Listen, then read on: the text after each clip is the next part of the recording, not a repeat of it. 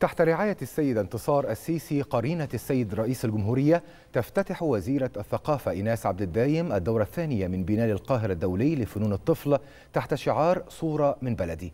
ينطلق البنالي يوم الثلاثاء المقبل بمركز محمود مختار الثقافي. وقالت وزيرة الثقافة إن البنالي يأتي استمرارا لرعاية كريمة من السيد انتصار السيسي للفعاليات الكبرى المخصصة للطفل دعما وتشجيعا. بنالي القاهرة الدولي لفنون الطفل تم تأسيسه عام 2019 كخطوة جديدة نحو الاهتمام بفنون الطفل لما لها من دور فاعل في تنمية وصقل شخصيته.